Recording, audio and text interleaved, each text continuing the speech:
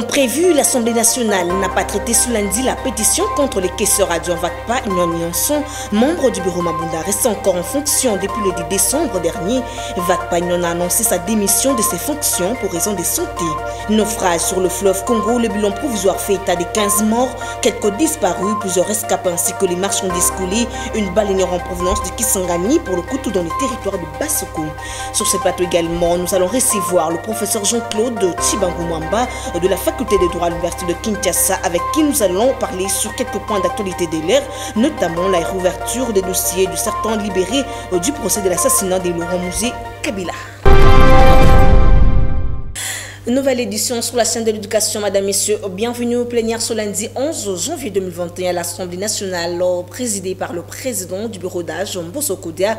La pétition contre le caisseur adjoint n'a pas été débattue parce que ce dernier a décidé de démissionner.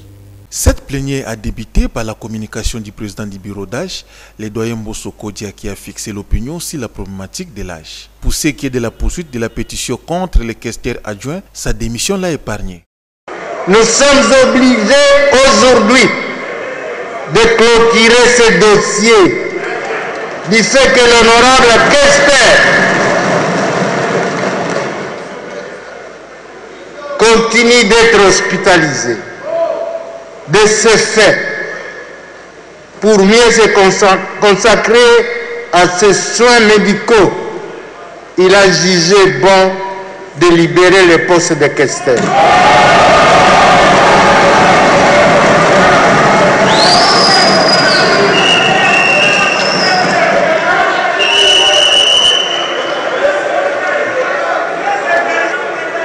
À travers une correspondance adressée au bureau d'âge, par l'entremise de son avocat.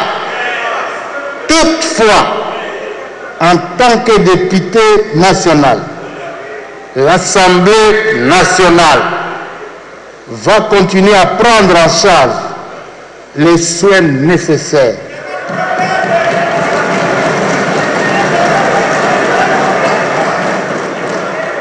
Nous prendrons, l'Assemblée prendra en charge les soins nécessaires jusqu'à son rétablissement.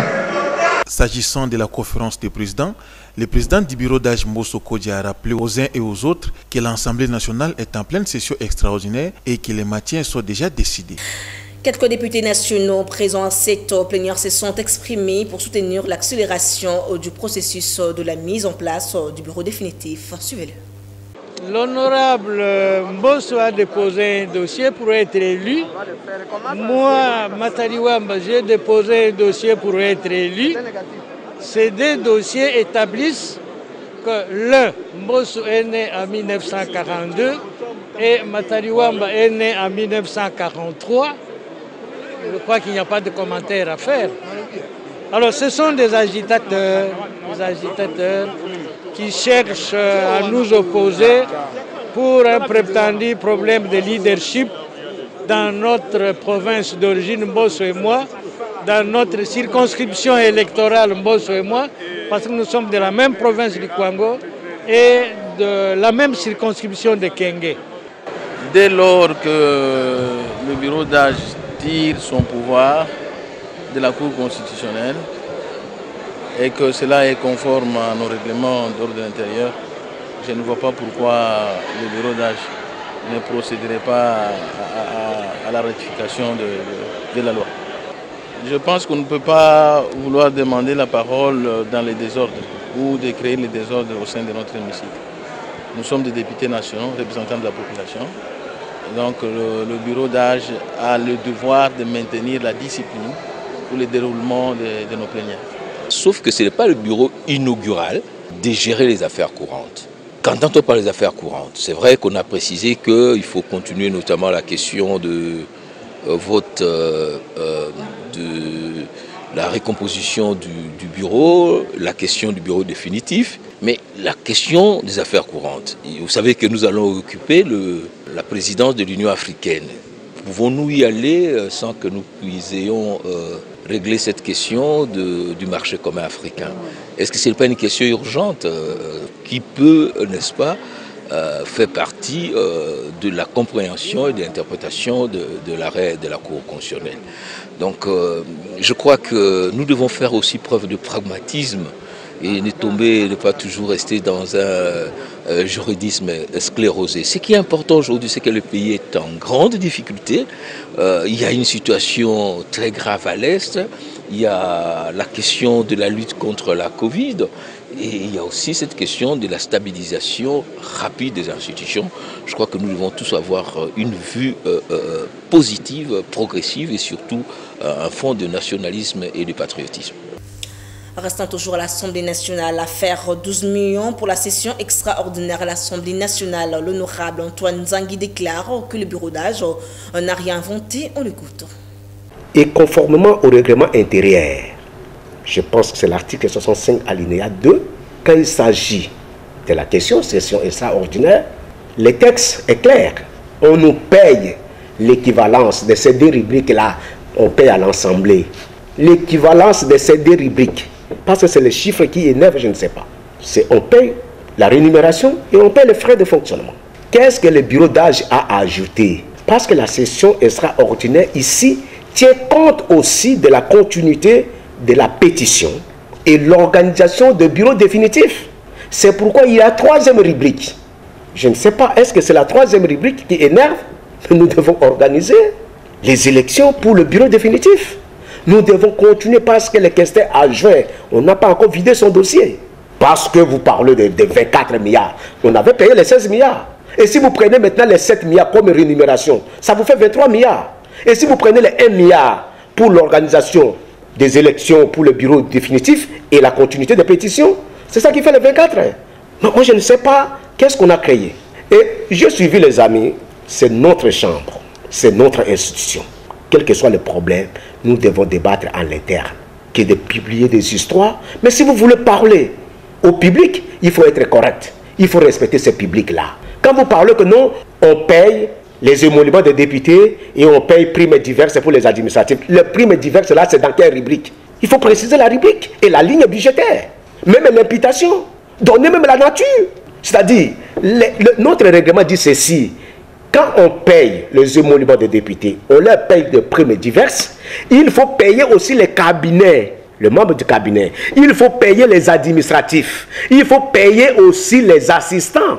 Et toutes ces rubriques-là, le prime diverses les cabinets, les administratifs et les assistants, c'est dans la rubrique fonctionnement, les amis. La question qu'on peut poser aux amis, au mois de septembre, le frais de fonctionnement de l'Assemblée nationale est de combien? Au mois d'octobre, c'est combien? Au mois de novembre, c'est combien? Au mois de décembre, c'est combien? Mais vous avez remarqué que la session extraordinaire ici couvre pratiquement un mois. C'est du 5 janvier au 3 février. Non, qu'on arrête, qu'on ne puisse pas présenter les documents. Là, si on veut vous parler des documents, il y a toujours des rubriques. Si, à 2019, la rubrique de rémunération était autour de 5 milliards ou 4 milliards, et que le frais de fonctionnement est autour de 5 ou 4 milliards, aujourd'hui, la question, c'est de poser l'enveloppe de rémunération est de combien mensuel et l'enveloppe de frais de fonctionnement est de combien mensuel dans l'actualité, toujours naufrage d'une baleinière la nuit du vendredi 8 janvier 2021 euh, au large de Kisangani, dans la province de la Chopo. Euh, jusque-là, le gouvernement provincial de la Chopo n'a toujours communiqué sur le bilan. Euh, David Saloum, depuis Kisangani. C'est une vieille baleinière en très mauvais état qui a chaviré au fleuve Congo alors qu'elle était à quelques mètres de son parcours. L'accident s'est produit vers 21h au beach Jalou Jalou, près du parquet général de Kisangani. L'embarcation en partance pour Basoko avait à son bord passagers et marchandises. Les rescapés parlent de plus de 200 personnes embarquées, alors que les manifestes de la DGM parlent de 70 passagers. Plus de 2000 sacs de ciment, les barres de fer, les carburants, les motos, les divers et autres marchandises ont surchargé le navire au point d'occasionner cet accident selon les premières constatations. Tous les matins de ce samedi 9 janvier, les autorités politico-administratives, militaires et policières, les membres des familles des passagers et les nombreux kyriers se sont retrouvés au lieu d'accident. Les services de l'État se sont mis au travail de récupération de certaines marchandises dont ils étaient en mesure de sauver. Devant la presse, le ministre provincial des Transports et Voies de Communication a fait un bilan provisoire de trois corps repêchés et de 162 survivants. Le bilan provisoire jusque-là, c'est de 3 mois.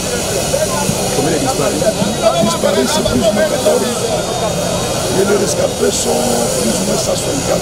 Les informations, c'est la navigation nocturne qui a été interdite, mais nous sommes en train de regretter. Il y a certains navigants qui s'arrangent avec les hommes qui sont au niveau de qui sont en train d'organiser les convois. Là, nous sommes en train de suivre pour finir toute personne qui sera indexée dans ce dossier. L'un des plongeurs a dit avoir vu plusieurs corps coincés sous les marchandises, cela risque d'alourdir les bilans humains sans parler des pertes en marchandises. Les services de l'État enquêtent déjà pour comprendre le fait. Cependant, l'agent du commissariat fluvial qui a délivré l'autorisation de voyage à cette baleinière est aux arrêts. Les conducteurs et le propriétaire du navire est serré en fuite. En ce qui concerne le naufrage, l'ASBEL voit du souvenir aux primaires demande au gouvernement d'apporter un secours d'urgence à la province de la Chopo. Cette ASBEL dénonce le silence du gouvernement central. Suivez. Ça ne doit pas seulement se limiter au niveau du gouvernement euh, provincial parce que je voudrais ici lancer un appel au gouvernement central comme ça s'est fait ailleurs. Nous regrettons qu'à chaque fois qu'il y a des catastrophes comme ça dans la province de la Chopo, il y a une léthargie qui est constatée au niveau du gouvernement central. Nous, avons toujours vu que quand il y a des actions comme ça, dans d'autres provinces, par exemple l'année passée, nous avons eu des naufrages, des, des, inondations dans la province de l'Équateur et dans d'autres provinces, le gouvernement central intervient. Mais quand c'est le cas de la province de la Chopo, nous constatons qu'il y a une insouciance de la part de, de, des autorités de Kinshasa pour intervenir. Je, je peux vous dire qu'il y, a eu il y a eu un montant de 600 000 dollars qui a été décaissé par le gouvernement de, Kinshasa pour l'intervention. Euh, pour donner aux victimes des inondations dans la province de la Chopo et l'argent n'est jamais arrivé. Et le gouverneur de province en a parlé pendant la conférence euh, des gouverneurs qui s'est tenue à Kinshasa. Je suis ici en train de lancer un appel à tous les Congolais, où que vous soyez, qui que vous soyez, de voir que la province de la Chopo est endeuillée. Dans ces baleinières que vous voyez derrière moi, on ne sait même pas, il y a eu combien de gens, mais on n'a pas le, nombre exact. Jusque-là, ils sont en train de se, de se démener pour chercher à savoir le nombre de personnes qui, euh, étaient à bord. Mais je voudrais tout simplement dire que le gouvernement central doit intervenir, pas de, de la solidarité humanitaire, parce que il y a quand même un ministère des, Affaires humanitaires et il y a de l'argent au budget national pour intervenir dans ce sens-là. Et nous voulons que le gouvernement central puisse intervenir parce qu'enterrer tous ces morts et récompenser les victimes et tout ce qui, va, s'en suivre, ça demande de l'argent. Aussi, le gouverneur de la ville de Kinshasa a inspecté le week-end dernier les routes en état de délabrement du district de la Tchankou. Sarah Kindela accompagné de son ministre des Infrastructures, de son conseiller technique, des élus provinciaux de la circonscription de la Tchangou, ainsi que d'autres membres du gouvernement provincial, Chantiningo Bila a débuté sa tournée par la route Sekomaf dans la commune d'Enjili.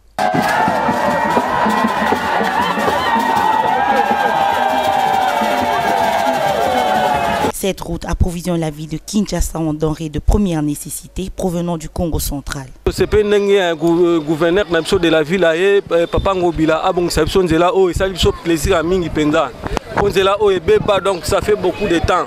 Bakamini eleka su te donc mabulu ebela banda na sekomaf kuna ntina ante ya quartier enangili kuna donc mabulu eza ebele kua importance na biso ya sekomaf ezokodirige biso bamiso bakendeke ti bakongo biloko ezokutana balekunga mputu bamputu bafufu bamanioko bamalala basafu tokomi na difficulté.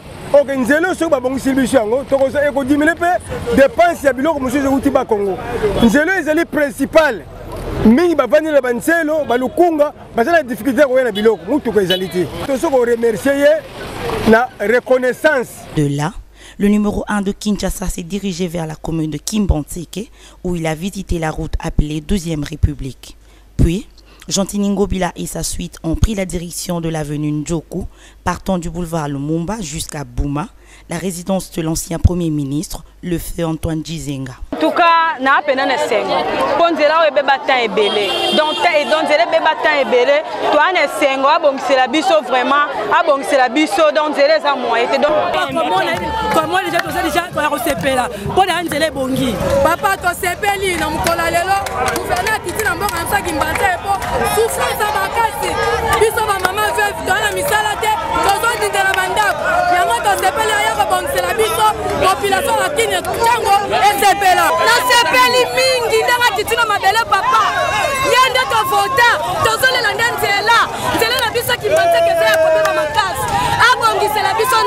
Il faut noter qu'il existe un projet qui sera bientôt actionné pour relier la périphérie de la ville de Kinshasa, selon le conseiller technique du gouverneur de la ville. En réaction, ce qui concerne la libération des Dicapendo et consort après la grâce présidentielle, le coordonnateur de l'URCO salue la décision prise par le chef de l'État Félix Tshisekedi, suivi Armel Kulu dans ses propos recueillis par Ruth Tomboudi et Delphin Tunvla. Normalement, Dicapendo est libéré, mais son casier judiciaire reste seulement le même parce que vous bénéficier d'une grâce présidentielle mais votre cachet judiciaire reste seulement ayant été condamné dans telle année à telle année. Donc, la liberté est là, mais euh, sa condamnation euh, est aussi là. Donc, il a bénéficié de sa liberté, mais sa condamnation reste. Nous, nous sommes euh, hein, un parti pro-IDPS. Et si sa condamnation était déjà négociée avec le président euh, prédécesseur de notre, là vraiment, euh, je ne maîtrise pas ça vraiment très bien, mais ce qu'il sache est que euh, le monsieur Dicapin a bénéficié d'une grâce venant du président de la République qui est Félix Antoine Tshisekedi Chilombo. Vous voyez, nous avons tant vécu des histoires dans ce pays et que il y avait quelqu'un comme prisonnier unique d'une autre personne. Dans ces pays, on a tant vécu. Mais euh, le fait que nous sommes maintenant dans le bain de l'état des droits, on est en train maintenant de voir les climats politiques changent d'un moment à un autre. Et je dirais euh, à la population congolaise est que euh, la République démocratique du Congo nous appartient, vous appartenez aussi, et vous, vous êtes aussi artisan de cette République. Nous devons soutenir le président de la République par rapport à ses actes parce que la volonté politique est là. Vous voyez, dans des années antérieures, on a tant vécu des histoires qui ne se correspondaient pas à l'habitude de la population. Mais pour cette, cette fois-ci, le président Félix Antoine Tshisekedi Chilombo a pris des bonnes initiatives qui permettra à ce que la population congolaise puisse en bénéficier. Comme vous annoncez dans les titres, nous allons recevoir pour vous sur ces plateaux le professeur Jean-Claude Chibangu Mamba, qui est professeur à l'université de Kinshasa, à faculté de droit. Alors, avec lui sur ces plateaux, nous allons échanger sur quelques points d'actualité politique. Je voulais dire, Monsieur Jean-Claude, bonsoir. Bonsoir. Vous allez bien? Merci. En forme Je vais très bien. Très bien, merci. Et bonne année. merci pareillement, monsieur Jean-Claude. Voilà, directement, certains libérés du procès de l'assassinat de Mousé Laurent Désiré Kabila demandent la réouverture du dossier en droit. Quelles sont les conditions qu'il faut répondre les procès en tant que professeur de droit? Bon, euh, il faudra savoir, madame, que la grâce présidentielle dont a bénéficié euh, tout, euh, toutes ces personnes-là, dont ont bénéficié toutes ces personnes-là que vous avez citées, n'est pas à confondre avec l'amnistie. Vous savez, l'amnistie efface, tout, c'est-à-dire que vous, vous, retrouvez avec un casier judiciaire vierge. Mais la grâce présidentielle euh, reste, laisse persister euh, le, le, fait infractionnel. Et euh, si vous, vous, avez même condamné au dommage et intérêt, les victimes vont continuer à vous réclamer le paiement de ces dommages et intérêts-là. Donc il est de bon droit que les, les, les, concernés puissent mmh. demander, la, la, solliciter leur justification. là, je vois la procédure de révision devant la, la Cour de cassation. Et s'ils amènent des éléments nouveaux, Mhm. le juge de cassation pourra, comment dirais-je, décider dans le sens de, de, de les blanchir. Donc, euh, ils n'ont pas, donc ils ont ce droit-là de, de, de... Effectivement. D'accord, merci beaucoup. Alors, euh, prévu pour ce lundi, la clôture de l'examen de la pétition à charge de l'unique membre restant du bureau Mabunda, le questeur adjoint Vakpa Union Nyonson a démissionné de son poste. Quelle est votre lecture? Bon, euh, elle a démissionné, c'est une démarche, mais euh, elle aurait dû euh, le faire bien avant, même à l'époque de l'examen de, de, de, de, pétitions de, ses collègues membres du bureau, pour qu'elle a attendu jusqu'à ce moment, ce moment où elle se retrouve dos au mur, ce moment où elle sait que tout est consommé, elle vient démissionner. Bon, vous savez, nous en politique au Congo, le sens de la honte n'est pas notre partage en principe dans notre cieux, lorsque vous vous trouvez dans ce contexte-là, mmh. où vous êtes indexé, mmh. euh, la, la, la, la, belle manière de sortir grandit dans, dans, dans de, de, la situation, il faut démissionner.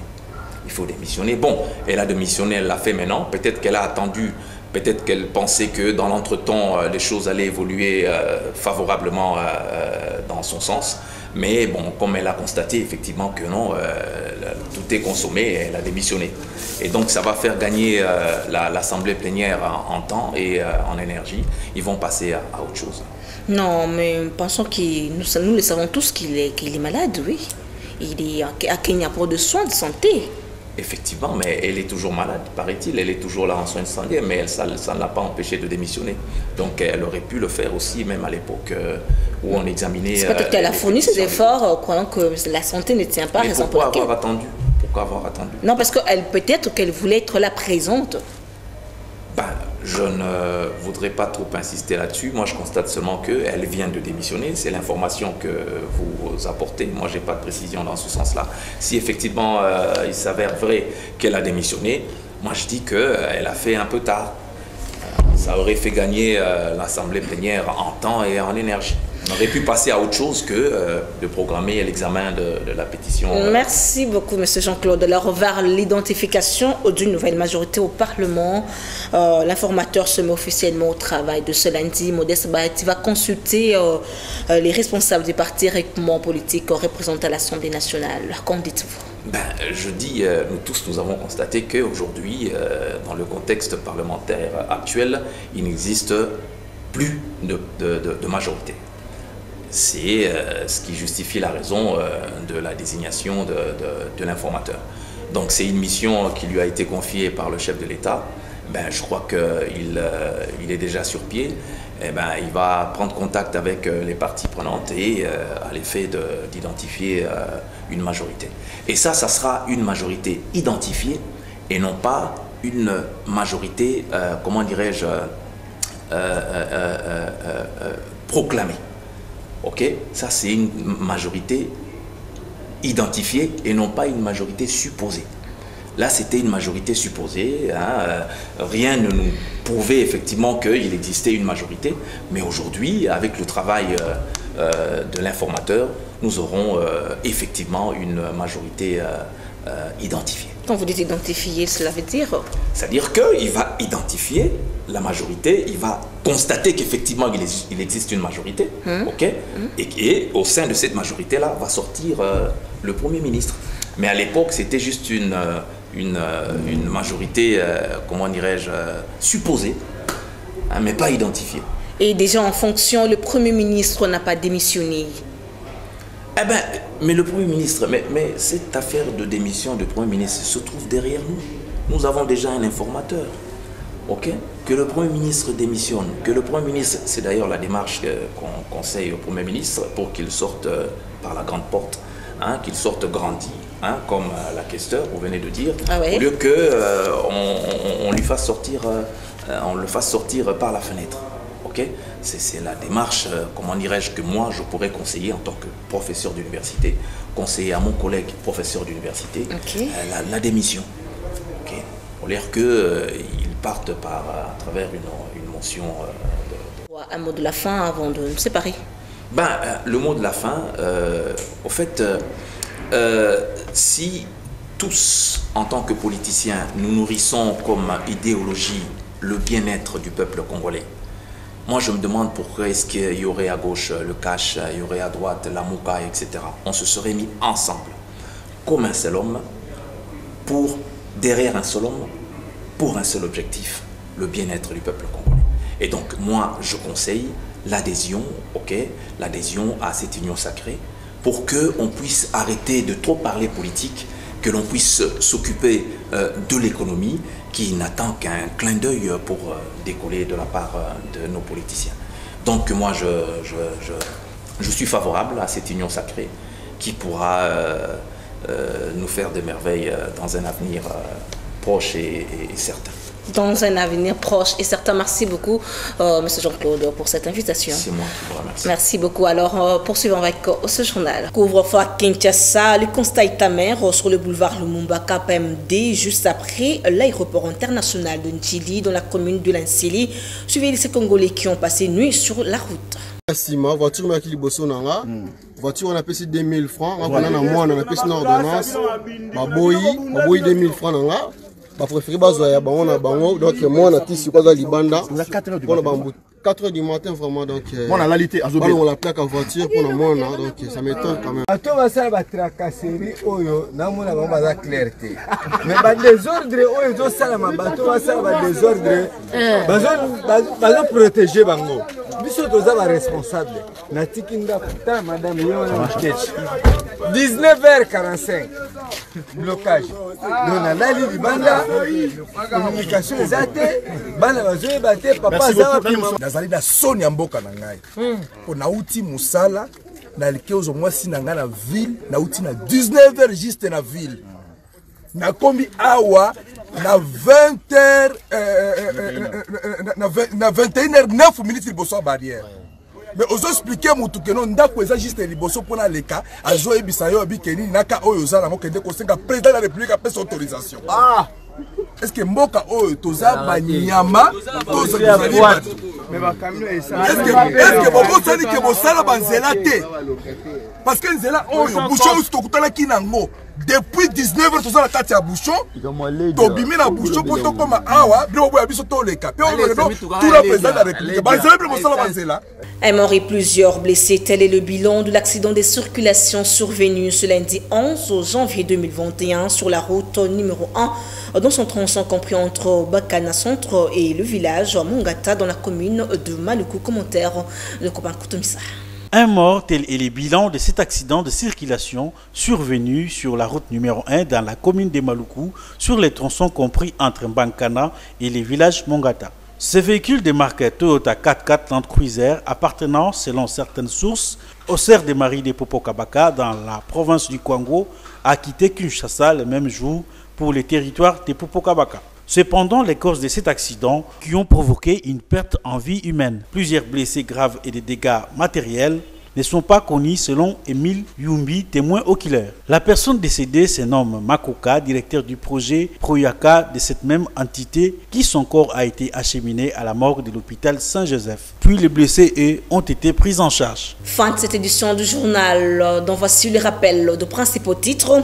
Comme prévu, l'Assemblée nationale n'a pas traité ce lundi la pétition contre les caisseurs adjoints. Vakpa Ignon Nanson, membre du bureau Mabunda, resté encore en fonction depuis le 10 décembre dernier. Vakpa a annoncé sa démission de ses fonctions pour raison de santé. Naufrage sur le fleuve Congo, le bilan provisoire fait état de 15 morts, quelques disparus, plusieurs rescapés ainsi que des marchandises coulées. Une baleinière en provenance de Kisangani pour le Koutou dans le territoire de Bassoko. C'était là le rappel de principaux titres. Fin complètement de cette édition du journal dont la chef a été assumée par Franck Assang. Un grand merci à toute l'équipe technique, rédactionnelle derrière la caméra. C'était Christian Odzo, Guilhem Restez bon mettez la barre Covid-19. Au revoir.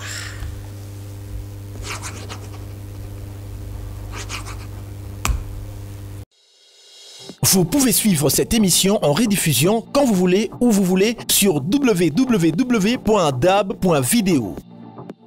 Dab.video, le divertissement congolais.